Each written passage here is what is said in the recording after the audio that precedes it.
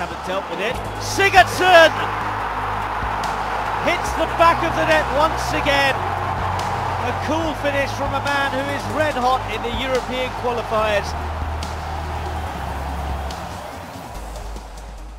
What is going on everybody and welcome back to another International Man of the Match player review on FIFA 16 and today we are going to be looking at the Icelandic and Swansea superstar Gylfi Sigurdsson. If you do enjoy this player review, lads, make sure to leave a big thumbs up on it. Get yourself a 25 likes, that'd be amazing. And don't forget to subscribe to the channel as well if you are new around here. But um, Sigurdsson is a player that I used to love. I think he was on FIFA 14 or 13. He had an inform card, which I absolutely like. Like I say, loved it. So I was actually quite excited to uh, try this card out. But um, he stands at 6 foot 1 inches tall. He's got 3 star skill moves and 3 star weak foot. High medium work rates. His price bands are between 9.8k and 100k. He seems to be going from around the 35 to 40k mark ish today, but um, he is only out for the one day, so it's hard to say he might creep up a little bit after today. Uh, getting into his base card and in-game stats, he's an 80 rated central midfielder. His uh, base card stats, you're looking at 68 pace, 77 dribbling, 82 shooting, uh, 83 passing, sorry about that, uh, 55 defending and 70 physical,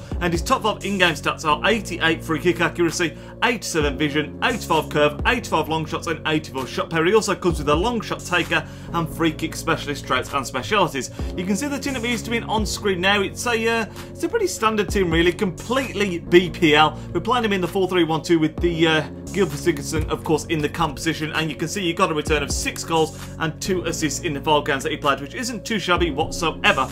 Uh, as we start to get into the clips of Sigurdsson in action now, he's a very um, He's a very well-rounded card. He's one of these cards that he does everything reasonably well, but he does nothing exceptionally well. And um, the one thing I was a little bit disappointed with was, was, was, his long shots. I mean, it was one of those. I wasn't sure if I was just a bit unlucky or they just weren't very good because I think I hit the post on multiple occasions. I forced some really good saves there to goalkeepers, but I didn't manage to score one really like blinding long shot, unfortunately. But what he did bring to the table was fantastic finishing. He showed good strength when he was on the ball, which I always find is the case.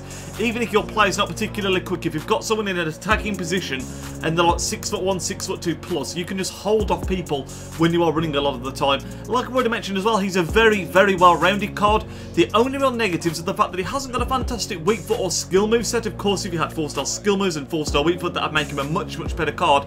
And the fact that he's Icelandic as well. I mean, Iceland, he's in the Premier League, which is nice, but he's playing for Swansea, so it's difficult to really link him in with a really OP team outside of the Premier League, if that makes sense. So it's not easy to link. But overall, he is a very solid card. Overall, we're going to be giving him a 7.9 out of 10. Like I say, nothing incredibly exceptional, but a very well-rounded card. Nowhere near the card that he had on FIFA 30, by the way, if you're wondering. That card was incredible that I used to like.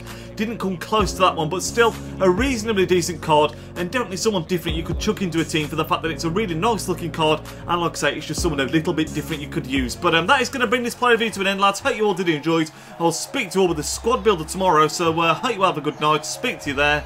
Need you out.